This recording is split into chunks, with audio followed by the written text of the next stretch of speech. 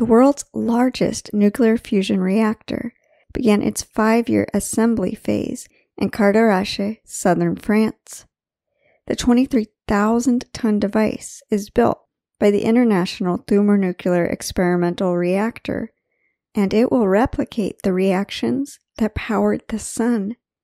It will be the first fusion device to produce net energy, maintain fusion for long periods of time, and test technologies that are necessary for making fusion based electricity.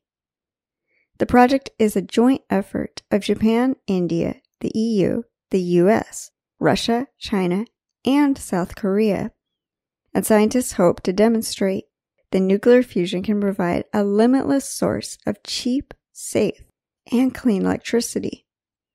However, it will take until 2035, after a decade of testing and upgrades, to establish whether the reactor actually works as intended.